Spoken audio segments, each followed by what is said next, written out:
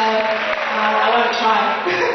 this next song is called Shame for You.